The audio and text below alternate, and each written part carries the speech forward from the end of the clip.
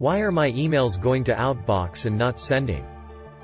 Most likely there is a communication problem between Outlook and your outgoing mail server, so the email is stuck in Outbox because Outlook can't connect to your mail server to send it. Check with your email address provider and make sure your mail server settings are up to date.